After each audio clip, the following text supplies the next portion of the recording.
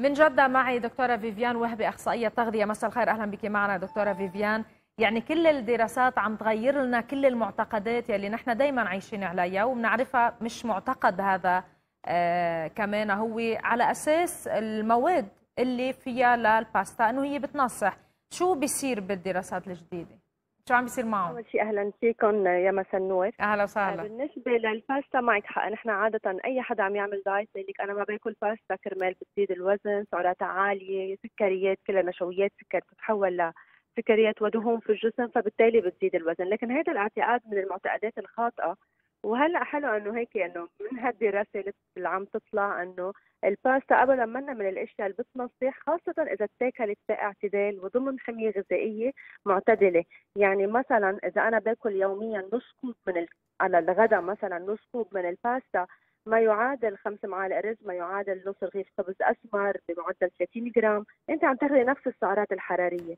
فالباستا هي من الأشياء فيني أقول الصحية إذا اخترتها من الحبوب الكاملة إذا اخترتيها سمرا أكيد معدل امتصاصها بالجسم يعني بتاخذ وقت أكثر من الباستا البيضاء.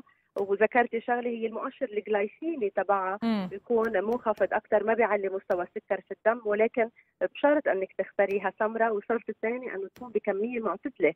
يعني ما فيك تاكلي باستا كميات كبيرة لأنه يعني عادة الناس بتسمع إنه الباستا بتنحف فبصيروا بياكلوا كميات كبيرة من الباستا. كيف كيف بت... على أي أساس معتقد إنه بتضعف؟ يعني تكون سمرة طبعا دايما والخبز دايما يكون أفضل وبكميات معتدلة بطبيعة الحال دايما هي النصيحة. بس إنه المعكرونة بتساعد بتخسيس وإنقاص الوزن يعني مش مش لهالدرجة. أنا أنا بشوفها أكثر مثل كانها عنوان للفت الانتباه أكثر لأنه هي الدراسة انعملت على تناول الباستا على مجموعات ضمن حميه غذائية. يعني هن عاطينهم already حميات غذائية للأشخاص وكان عم ينعمل مثل مثل questionnaire أسئلة عليهم شو عم ياكلوا؟ بدون أي يعني بدون أي إثباتات يعني كثير دقيقة بالدراسة.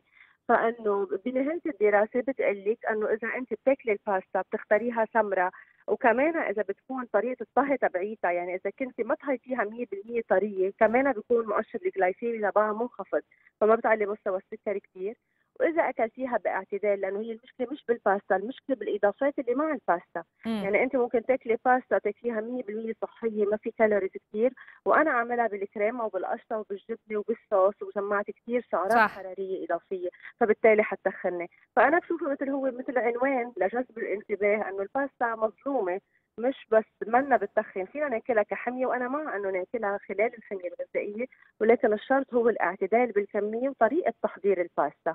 حمية بشكل إنه هي من المواد اللازم ناخذها بجسمنا كنشويات طبعا. طيب بس ذكرتي نقطة إنه كل ما هي مش مستوية لدرجة آه 100% كل ما أفضل.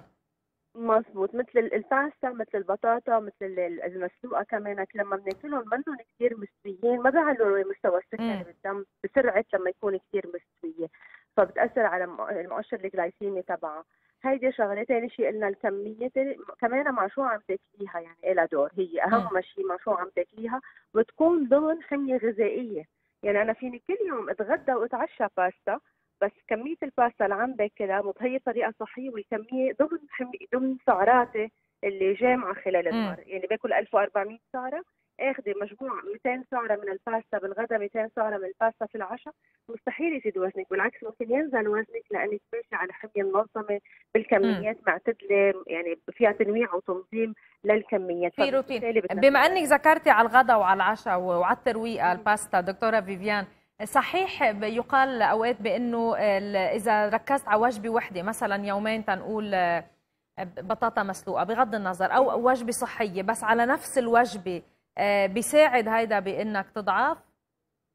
إذا نفس الوجبة كنوع واحد مثلا بس معكرونه أو بس مم. بطاطا لوحدها لا أنا ماني مع هالحميات يعني هيدي صار مثل في حرمان خلال الحمية وبالتالي بتؤدي لردات فعل عند الأشخاص حيحسوا بإحساس الحرمان وإحساس الحرمان له ردات فعل بانك ترد الوزن بعدين يعني ما بتقدر تثبتي وزنك أو نعم. على الوزن اللي أنت رفعتيه بس معلومه مهمه للباستا إنه الباستا غني كثير إذا جبناها سمراء بالفيتامين B complex وكمان بيعلي مستوى السيروتونين يعني هرمون سعاده الجسم فلما بتاكلي هيدا المصدر من النشويات بهديلك الأعصاب. أها. يعني بحسسك إنك أنت شبعانة. طلعت. مفيدة الباستا. صار عندنا حجة نضلنا عم ناكل. باستا.